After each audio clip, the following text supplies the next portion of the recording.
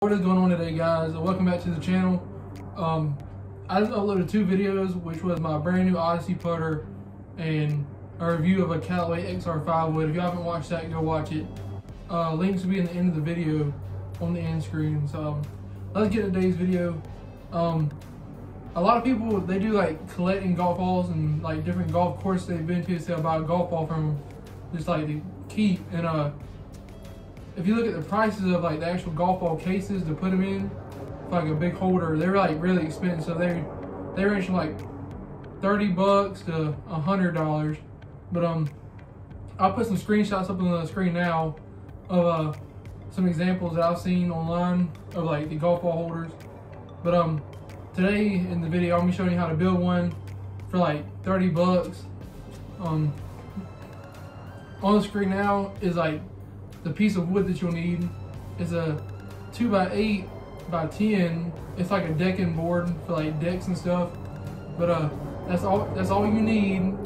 And you need a drill and then a 3 quarter inch paddle bit. And uh, that's all you need. Some, um, I guess, inch and 3 quarter screws.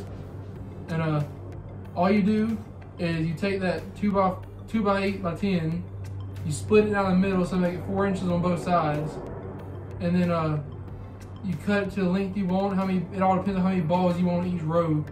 But uh, my collector balls, like, I mean, like, I don't know if y'all can see it. The ones like this, like the Masters logo. It's the Titleist Pro V1 with the Masters logo on it, like something like that.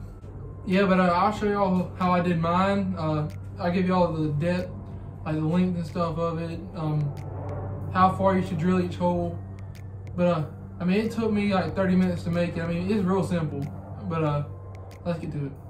Okay, so um, here's mine, my golf ball holder. Um, as you can see, I have 10 slots for a ball on each row. And I have one, two, three, four, five. I have five rows, so mine holds 50 balls. But um, mine is uh 23 inches wide, and it is um 21 inches tall. I made it so where each golf ball is an inch and three eighths apart. So that way, um, I'll show y'all right here, for example. So when it's sitting, when it's sitting in there, they're not like cramming up against each other. You have a little bit of space.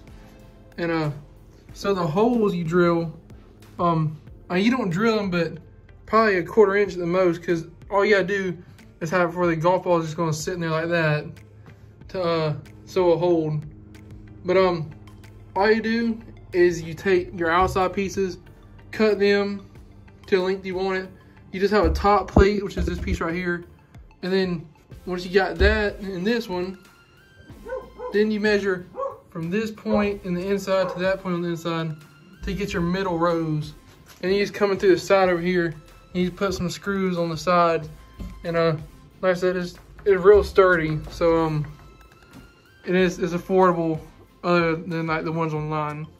So um, that's how you build a golf ball holder for displaying purposes.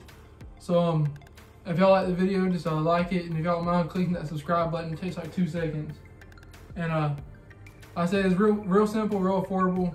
If y'all want to, y'all could get a piece of plywood, like like quarter inch plywood, maybe even eighth inch, and uh, go behind it, and y'all can put like felt in there or something just to make it prettier. Y'all could stain it with a, dark, with a darker color.